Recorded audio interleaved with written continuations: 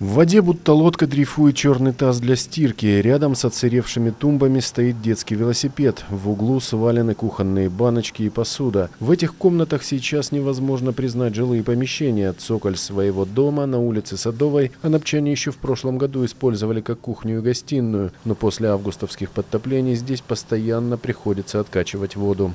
Нас никогда не топило, дом тем более не топило. Мы в этом году только и стараемся, что нас то откачивают, то откачивают и откачивают. Вода всю дорогу поступает. Каждый день дожди почти. И оно все собирается. На помощь местным жителям приходят спасатели, откачивают воду помпой, но это лишь временное решение проблемы. Как подчеркивают специалисты, большинство случаев подтопления цоколей можно назвать последствием нарушения строительных норм. О прокладке системы водоотведения на своем участке многие жители думают в последнюю очередь.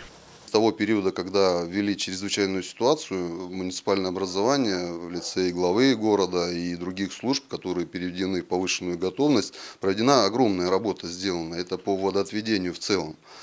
Вот. Но в некоторых населенных пунктах вода пришла, да, неожиданно. Почему? Потому что те ливневые каналы, которые были и уже исторически получились да, от внутренних водоемов, осуществляли сброс какой-то дополнительной воды, которая в результате осадков появлялась, они были вот просто-напросто засыпаны людьми и, в общем-то, присутствовал человеческий фактор.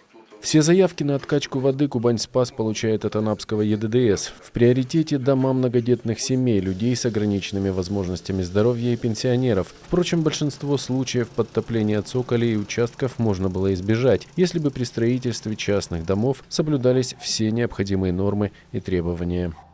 Никита Бойко, Ксения Сипко, Михаил Григорьев, Анапа регион.